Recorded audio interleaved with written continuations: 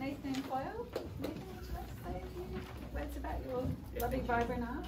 Um, that was great, thank you. That was good thoughts. Um, so I paint between studio work and mural work as well. and my mural work, I guess, references street art and graffiti in that I use a lot of spray paint. Spray paint's very quick, very immediate, um, and it moves between opaque and transparent pretty well as well. Um, so I guess my subject when painting is painting. So painting is my subject. Paintings are about painting. They're about the materiality of painting. They're about the, um, I guess, the ephemeral nature of painting as well.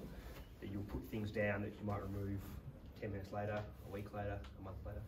Um, so these paintings here, um, you know, kind of reference my ongoing conversation myself around building visual language, lexicon. Um, and the painting over here on the far right um, is probably the most recent of those. And that's a painting that's led to a few other paintings and a few murals recently, playing with line and shape and drawing. I don't come from a drawing background.